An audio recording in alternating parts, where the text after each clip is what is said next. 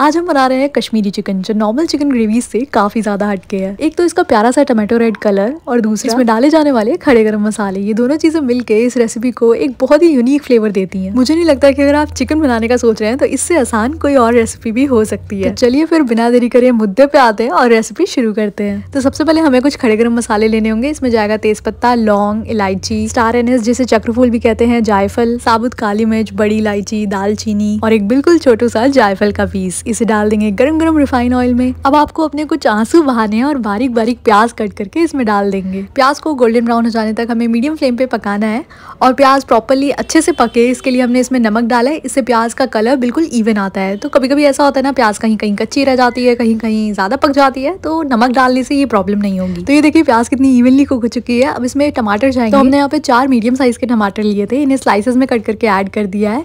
टमाटर को गल जाने तक इसमें पकाएँगे। इस मूवमेंट पे अगर आपको लगने लगे कि टमाटर तो गल ही नहीं रहे तो आप इन्हें थोड़ी देर के लिए ढक सकते हैं।